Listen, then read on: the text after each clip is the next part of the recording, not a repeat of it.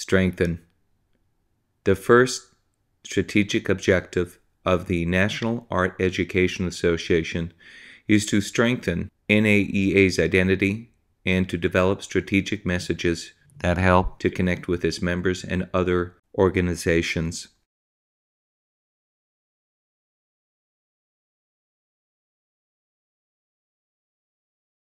Increase.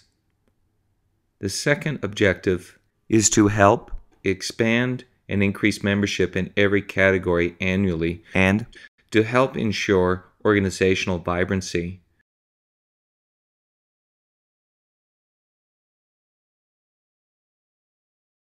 Develop.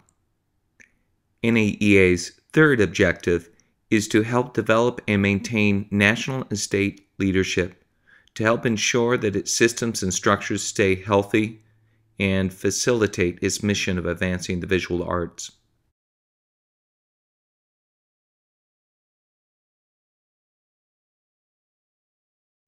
Deepen.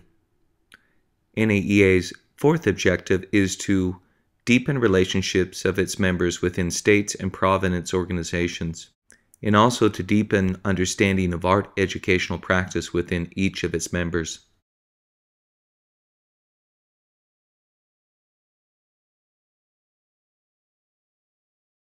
Ensure.